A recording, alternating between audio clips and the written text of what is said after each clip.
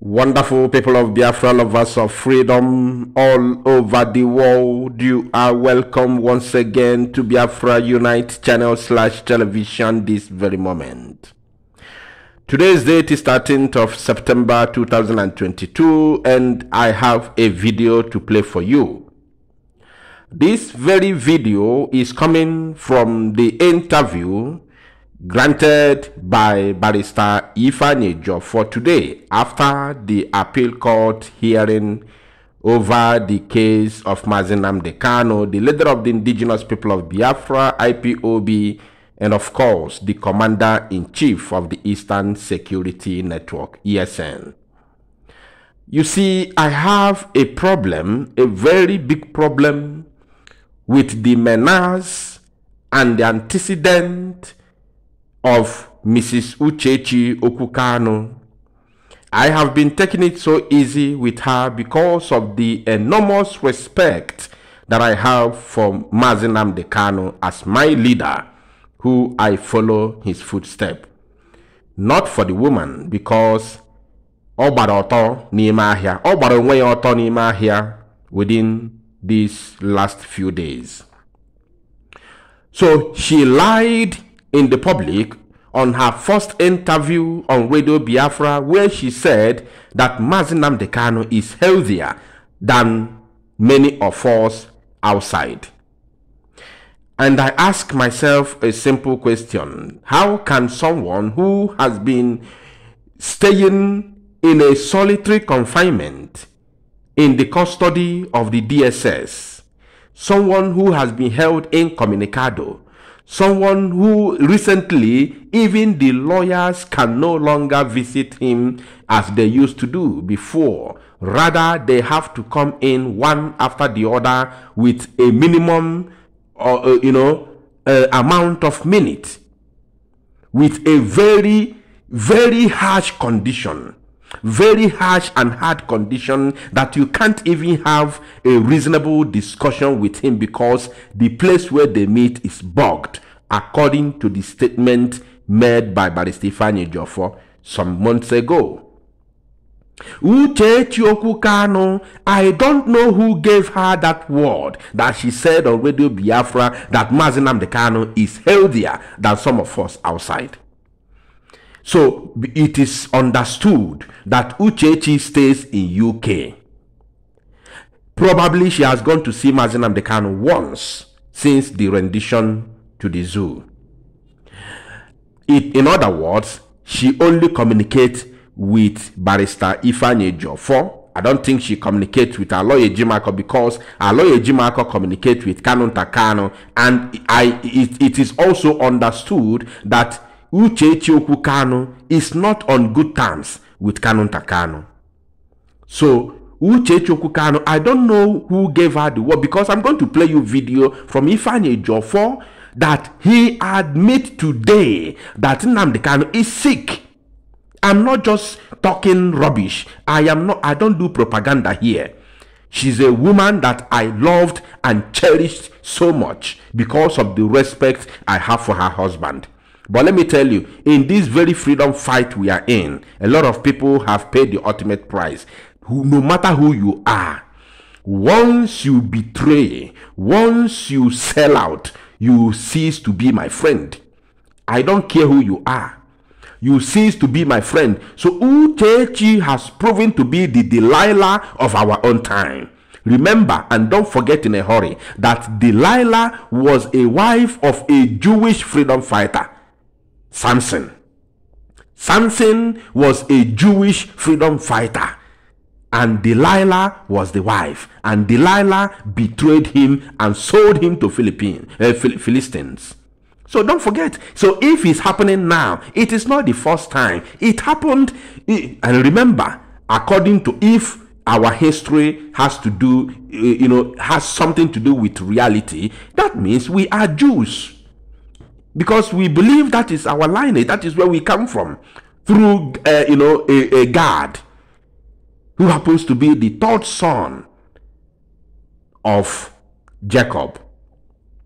Are you getting it? So, if that we are truly Jews, so it is on our blood that we supposed to you know history is now repeating itself again in our own time so it's not new and nobody should be you know distracted or worried or even be amazed with the character that we have seen played out from the wife of Mazi Nnamdi Kanu. That is the reality. Because I'm not just talking, I'll play you video now, now, now, now, now. Are you getting it? Ifeanyi Ejiofor has confirmed that Mazi Nnamdi Kanu is not well. And what do we have to do? Anything you know you are doing to make sure that Biafra comes today and tomorrow, to make sure that Mazi Nnamdi Kanu is released today and tomorrow. In fact, add more, add more because this is the time now. Our leader is sick. He is not okay. Remember yesterday I told you that no well kepu kepu nanu from DSS custody. No well kepu kepu nanu and achọbe m ikwu ikwu ife gbasara until confirm oh, my information. Now I want you to watch the video. Share the video. I'm not coming back again for more analysis. I don't want to talk much because nkwube otu ọ dị m n'obi. Ị mana ọ ga-awara ntị m kparị that woman. Mkparịa that woman. Enwere ike sef ịkpọ ya. Because I'm, um, the sacrifice our people are paying for Biafra. So, in fact, just watch the video. I told me too much because Obi Adramuma. Thank you, my people. Make sure they share this video. Keep this one as a record. It's going to go down the record lane because we are moving to our glorious destiny. Thank you. Um, we want to know questions uh, bound regarding the health status of uh, Amazon Nnamdi Kanu, the IPOB leader? The, the, the, his health condition is part of the reason why we're in court of appeal. Uh, actually, of course, you may have noticed that we have an application for his bail, which we mentioned today before the court of appeal. But we've caught the lordship in their wisdom. We have the view that since the main case is right for hearing, which is the bail appeal, the appeal, that it's better for us to go into the battlefield and sort it out. Then he didn't strike out that application. Then on the day of judgment, if the judgment goes one way or the other, if government says the seven count charge remaining are now dismissed, then that's the end of the case, settled. Then the lordship said, okay, this and that, this and that happened. Then we can now take application for bail. That will be another option. But now, of that, and the, in that application for bail, we've extensively discussed issue, issue of his health. Don't not do not forget that his lordship Honorable Justice Sinyako made far-reaching orders regarding allowing him to bring his own personal physician to conduct independent investigation on his health status. These orders were flouted with impunity by, by DSS. Of course, DSS has a history of not obeying court orders. So we have plenty of them. And that's part of the reason why we're in court of appeal today. So he's, he's, he's not being managed. His, I can't say that his health is being managed by, yes, by, by SSS effectively because they don't have the facility to manage it. Of course, when he was in Kenya, he was subject to all forms of torture and air treatment. So on account of that, he's still taking drugs today. So it is high time. That's part of the reason why the court ordered that he should allow him, they should allow him to bring his personal physician, his personal doctor, medical doctor to come and examine him. This order has been flouted to date. In fact, few days, few weeks in the past, few weeks ago, attempt was made at bringing a doctor that come and see him, and they said no. They said no. So, so, but these are facts before the court, and today, thankfully, it's not uh, Leonard Sok, uh, Chief Michael Ozekhome also mentioned to the court that he's sick I need to be treated, need to be need to be granted for free for him to take his care of his medical medical health condition. So, because SSI has no facility to take to, to treat it. Of course, you are way about about the way you, you, you people are aware. It's also in the public domain about depletion in his potassium content uh, content.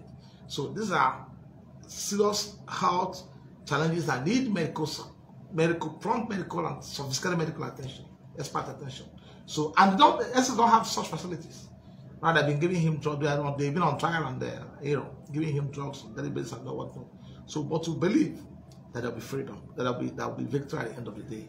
We're not relenting. We're not giving we're not we're not giving any anything to chance. We are all over the places with them. We're court of appeal, we're high court, we're all over, we have other other actions to file against them.